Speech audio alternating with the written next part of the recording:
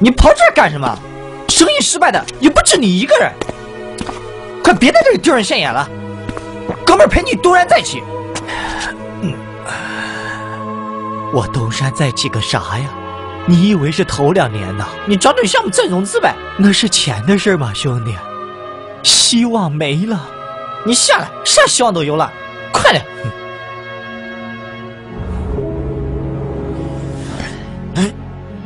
小心，为咱员工想想。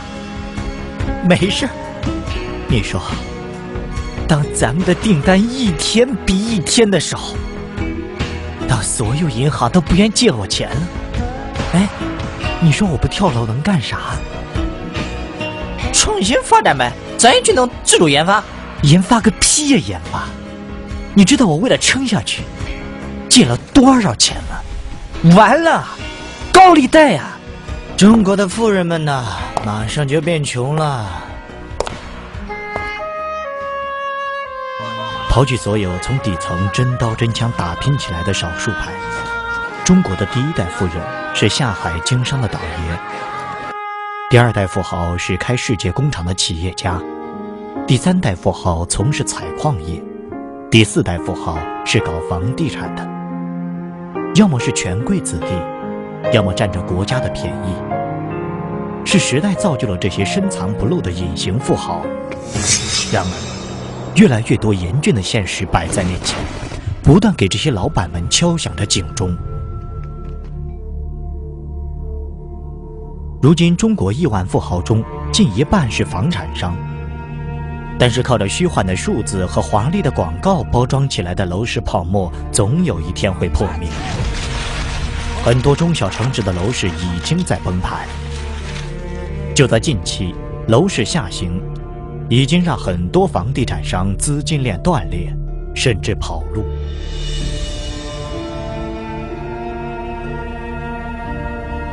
国际评级机构标普统计。中国企业贷款十四万亿美元，居全球第一。影子银行融资占三分之一。一旦外国人把中国老板都定在失信黑名单上，那么这些信用风险无疑将会是拴在每个富人身上的不定时炸弹。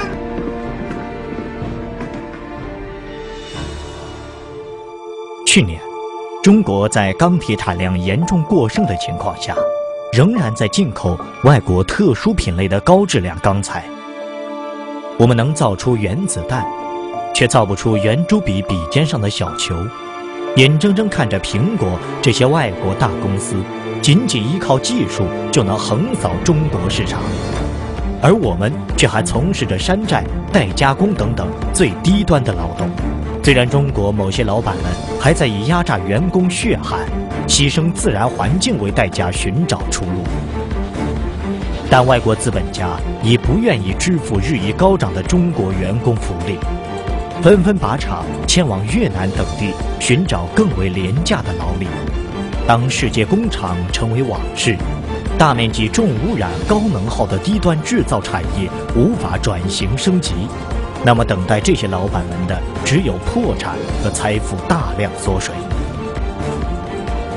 古人常说居安思危，而中国目前的经济环境绝对算不上安。当所有富人变穷，穷人失业，经济萧条，民不聊生，那将是多么可怕的事！总之，是泡沫经济总要破灭，是不义之财总要回归。